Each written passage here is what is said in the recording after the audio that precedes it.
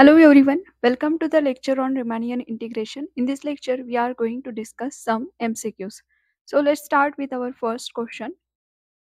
So here the first question is length of rth subinterval delta xr equals to. तो अगर हमें length find out करना है तो यहाँ पे एक्स आर इसका मतलब क्या होगा x r that means it is equals to x lower suffix r plus 1 minus x lower suffix r.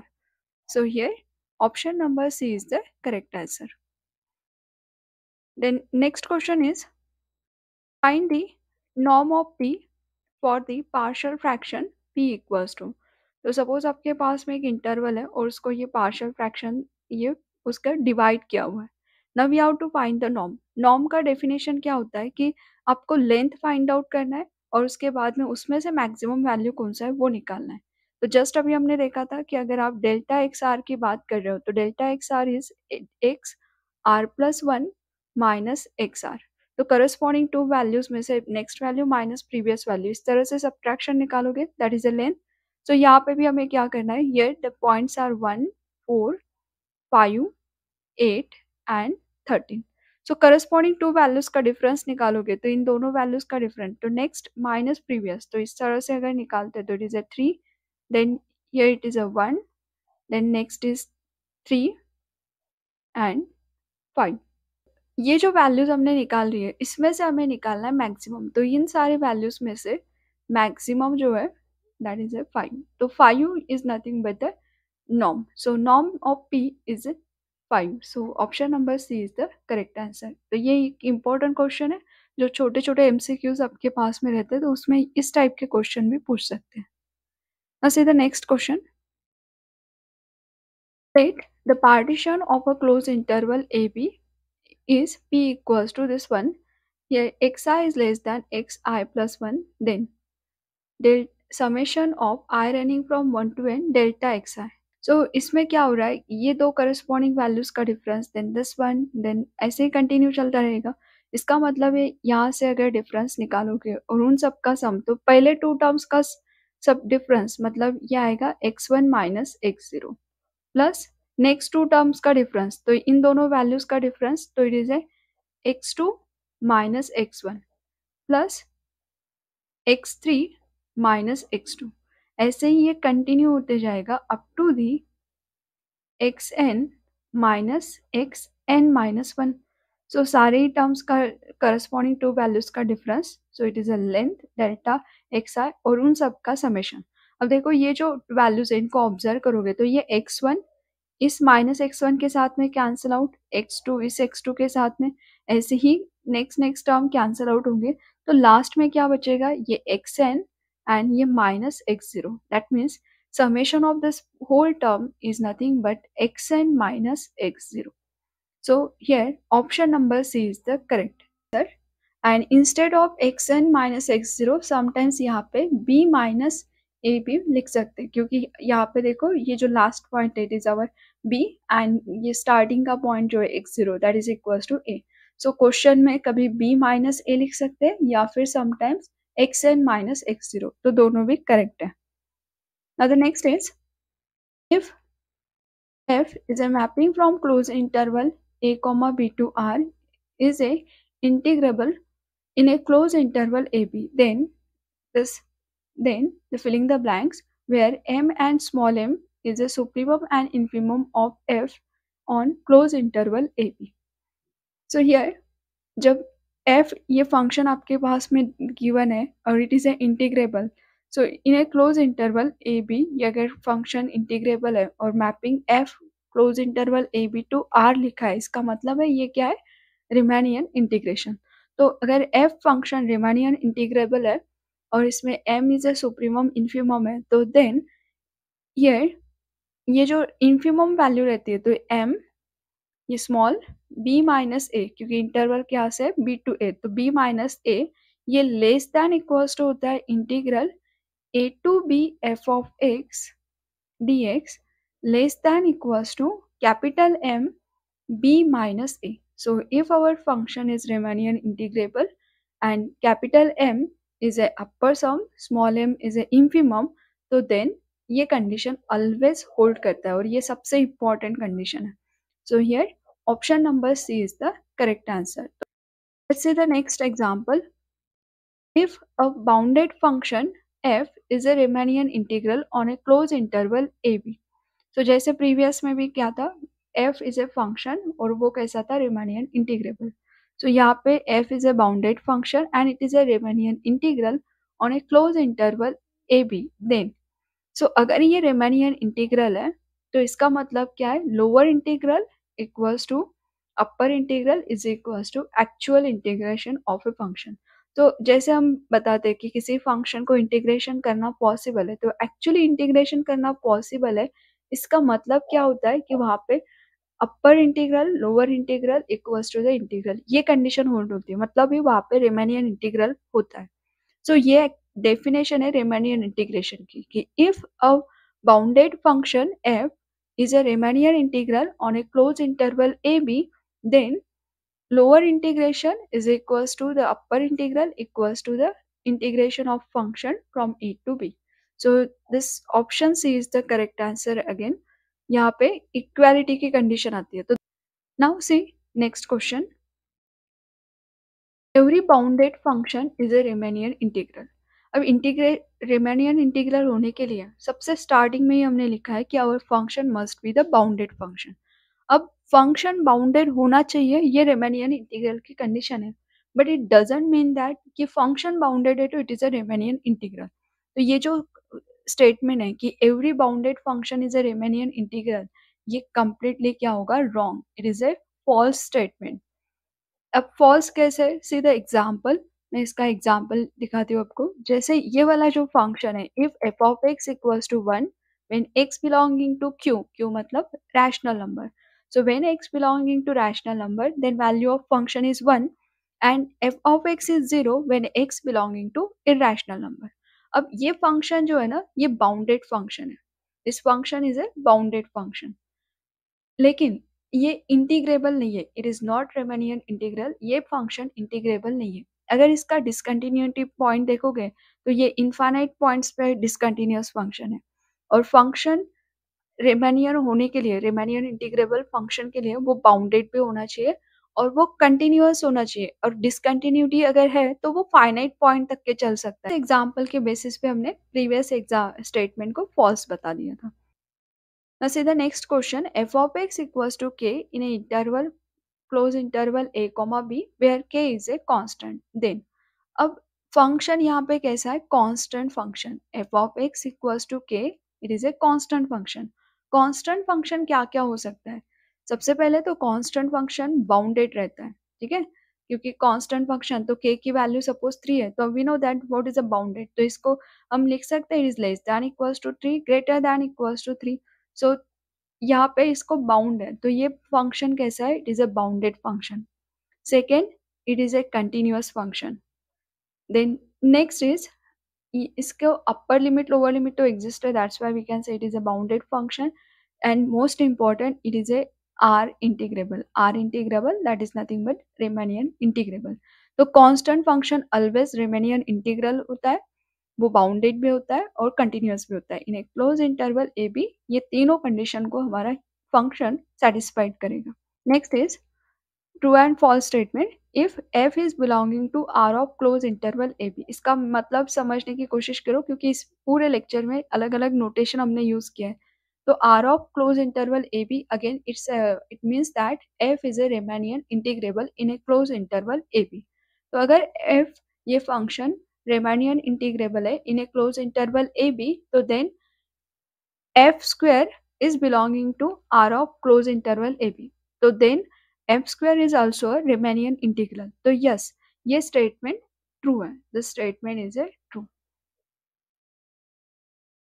next question f is continuous and integrable on a closed interval AB, then there exists a number c belonging to interval A B then अब ये भी एक theorem है। यहाँ पे क्या कहा है कि अगर आपका फ़ंक्शन कंटिन्यूस है और इंटीग्रेबल है on a close interval A B then there exist a number C belonging to close interval A B तो देन ये कौन सा कंडीशन सेटिस्फाइड करेगा? Integral a to b f of x d x is equals to upper limit minus of lower limit into the value of function at point C. So इस option में से option number A is the correct answer next is f is defined and bounded on a closed interval ab then which of the following is are correct the first option is monotonic then f is r integrable r integrable Riemannian integrable So अगर कोई भी function bounded है और वो monotonic है तो वो may be monotonically increasing हो सकता है डिक्रीजिंग उसके वजह से वो फ़ंक्शन जो है वो आर इंटीग्रेबल डेफिनेटली होता है. सो so, ये स्टेटमेंट ट्रू है.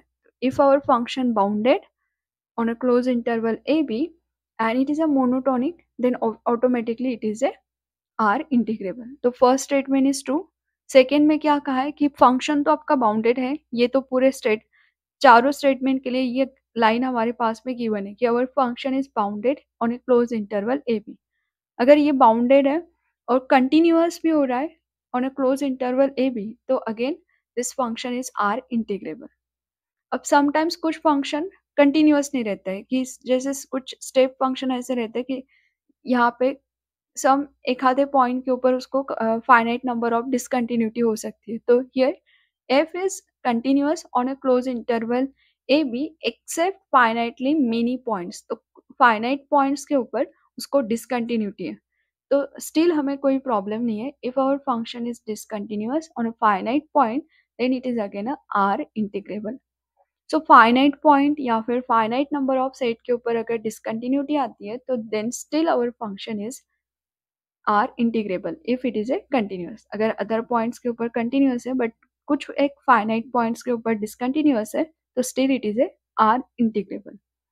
Then next point is if f is discontinuous on a closed interval AB then R integrable.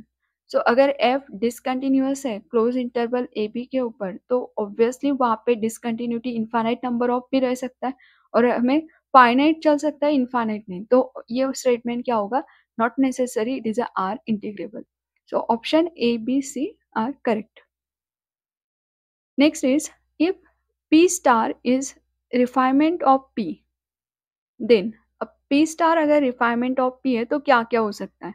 अब देखो ये P star को refinement of P कब बोलते हैं? मैं इसको समझने के लिए एक जस्ट एग्ज़ाम्पल लिखती हूँ। सपोज़ आपके पास में एक इंटरवल है। Close interval one two seven ठीक है? अब इसको हमने पार्टीशन डाल दिए। तो P इज़ ए पार्टीशन अब पार्टीशन का मतलब क्या है? ये आपके पास में एक लाइन है close interval one two seven okay ये रिमानियन इंटीग्रेशन में यहाँ पे कर होता है, उसको हम डिवाइड करते हैं, इस तरह से रहता है। बस इसे समझने के लिए मैं जस्ट इस लाइन की हेल्प से बताती हूँ।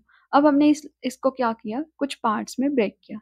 सपोज़ हमने यहाँ पे ब्रेक किया two four six so here our P is one two four six, seven. अब पी स्टार जो है, वो भी क्या है? पार्टीशन ही है। किसका पार्टीशन सेम इंटरवल का। Close interval one comma seven का पार्टीशन है पी स्टार और यहाँ पे मैं क्या करती हूँ, इसको फर्दर डिवाइड कर देती हूँ। Suppose here one point five then we take here three and five अब इस पार्टीशन के सेट में क्या हो गया? One one point five two three four five six and seven. Now see हमने और ज़्यादा टुकड़ों में बांट दिया उस लाइन को तो और ज़्यादा छोटे छोटे छोटे छोटे पार्ट्स करते जाओगे तो उसमें नंबर ऑफ़ पॉइंट्स बढ़ रहे हैं। सो so, ये कैसा था? यहाँ पे पॉइंट्स कम थे मतलब हमने लाइन को कम पार्ट्स में डिवाइड किए थे फिर यहाँ पे इसको बहुत ज़्यादा पार्ट्स में डिवाइड कर दिया। बट इन दोनों को अगर ऑब्ज़र्व करते हो तो ये जो पी है ये किसका सबसेट है? पी स्टार का। सो so, अगर P is a subset of P star इस टाइप का कंडीशन आपके पास में होल्ड होता है तो we can say P star is refinement of P. तो इसे कहते हैं रिफाइनमेंट ऑफ़ P. नाउ अगर ये रिफाइनमेंट ऑफ़ P है तो इसमें इंपॉर्टेंट पॉइंट्स आते हैं कि क्या क्या हो सकता है about the upper sum and lower sum के करस्पॉन्डिंग तो सबसे पहले here L of P comma F is less than equals to L of P star comma F. so, जितने स्मॉलेस्ट पार्ट में इसको याद रखने के लिए ये भी चीज़ अगर आपको रेमानियन इंटीग्रल का कंसेप्ट पता होगा तो शायद ये पॉइंट आपको सम, समझ में आएगा कि जितने स्मॉल स्मॉल पार्ट में पार्टीशन करोगे उतना हमारा आंसर मोर क्लियर इंटीग्रेशन उतना हमारा एरर पास रिड्यूस होता है और हमें एग्जैक्ट आंसर जो चाहिए वो हमें मिलता है सो उसके वजह से जब आप लोअर सम निकालते हो एल पी एफ़ तो वो क्या होता है? इस साइड में जाता है। मतलब धीरे धीरे करके वैल्यू बढ़ते जाती है। तो ये इंक्रीजिंग होते जाती है value when error term is reduces और जो मोर क्लियर आंसर है, उसके तरफ़ जब आप जा रहे हो तो L of P comma F ये वैल्यू इंक्रीज होते जाती है। और ये जो U of P comma F है, इसका वैल्यू डिक्रीज होते हुए जाता है। तो यू अपर तो अपर ऑलवेज क्या होता है? Greater than lower sum upper sum is always greater than lower sum अब ये जैसे जैसे आप पार्टीशन बढ़ा रहे हो तो वैसे वैसे आंसर लोअर सम का इंक्रीज होते हुए जाएगा अपर सम का डिक्रीज होते हुए जाएगा। और अल्टीमेटली वो दोनों एक पॉइंट पे मिलेंगे that is nothing but our answer of integration उसी की वजह से जब आप पी स्टार लिख रहे हो तो पी स्टार मतलब मोर पार्टीशन और मोर पार्टीशन तो more correct answer so lower sum में क्या होगा? Lower sum of P comma F is less than L of P star comma F वैसे अपर सम के साथ में अगर बात करते हो कि upper sum of P comma F और L of P star comma F तो ये पी स्टार में ज़्यादा पॉइंट्स है तो आंसर ये यू ऑफ़ चाहिए था। Upper sum of P star comma F तो ये P star is a partition और ये पी के कंपैरिजन में इसमें एक्स्ट्रा पार्ट्स कर दिए तो इसमें आंसर करेक्ट हो रहा है। तो आंसर करेक्ट होते हुए अपर सम क्या होता है? डिक्रीज होते हुए जाता है। मतलब यहाँ पे क्या होगा? It is a greater than equals to so अगर ये कंडीशन होल्ड है तो ये वाला पॉइंट भी आ सकता है देन करके। Otherwise this one third is अगर इन चारों को कंपेयर करते हुए लिखोगे तो ये L of P comma F less than equals to L of P star comma F less than equals to U of p star comma f less than equals to u of p comma f. ये तीन point आएँगे supremum and infimum के form में लिखते हैं। जैसे हमने suppose consider किया कि supremum is M and small M is a infimum point so supremum और इन्फीमम अगर आपको नोन है तो देन इसके रिलेटेड फोर्थ पॉइंट भी आएगा। If M is our supremum and small M is infimum then small M is less than equals to small m r particular rth interval पे उसका supremum less than equals to capital M R less than capital M ये हो जाएगा हमारा fourth point and fifth point is if we multiply the delta throughout then the small m delta xr less than equals to small m r delta xr less than equals to capital M r delta xr less than equals to capital M delta X R. ये दिखने के लिए easy है, लेकिन इसका एक important point है। जब आप इसके ऊपर समेशन अप्लाई करते हो ना तो यहाँ से एक सिंप्लीफाइड आंसर आता है that is a small M B minus A less than equals to L of P comma F less than equals to U of P comma F less than equals to capital M of P comma A so ये एक important point है सी के related thank you like share and subscribe